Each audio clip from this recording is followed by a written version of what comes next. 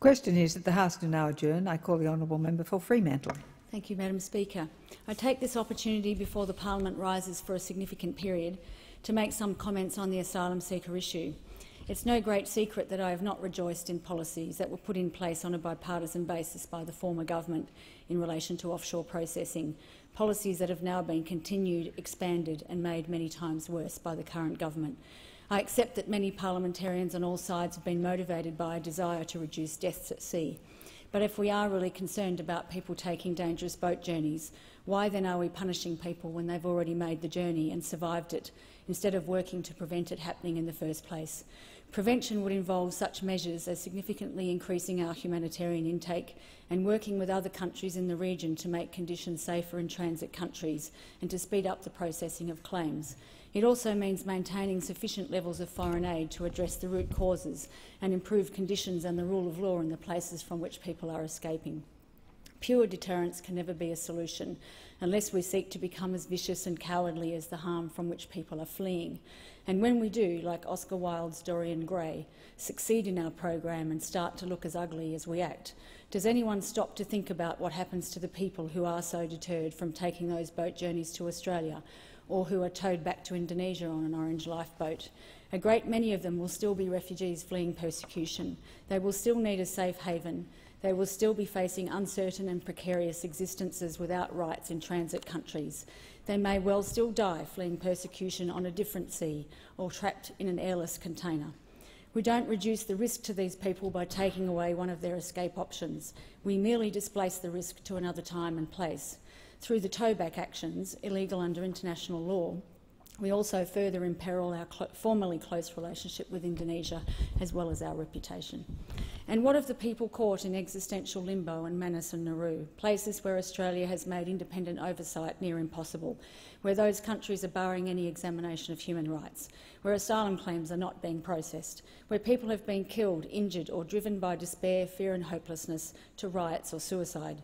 It's not okay this is not what the Australian community understood at the time those centres were re-established on Manus and Nauru, when parliamentarians solemnly promised to ensure that the Refugee Convention and international human rights would be respected and that there would be independent oversight of offshore processing centres, especially in relation to the physical and mental health of detainees.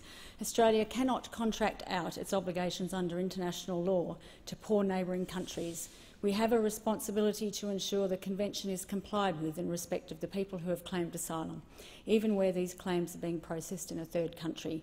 This is patently not happening. Clearly, the conditions under which Labor undertook offshore processing when in government are no longer being complied with, and as a nation we are in violation of our international legal obligations.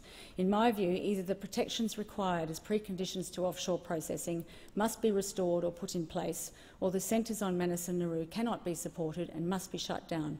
And what of those people in detention on Christmas Island and on mainland Australia whose rights to legal representation, of appeal, of support are being stripped away, whose children are not receiving appropriate education, as we've seen from reports on Christmas Island, and those refugees who are facing indefinite detention because of a negative security assessment from ASIO, a situation described this week by Sydney University's Professor of International Law Ben Saul in the New York Times as Australia's Guantanamo.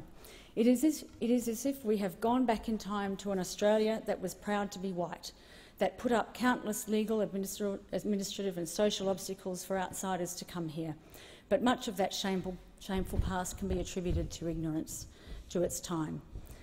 What is our excuse now? This prosperous, educated, outward-looking Australia that prides itself on the fair go, on tolerance and egalitarianism, on mateship. Mateship for whom? Those exactly like us?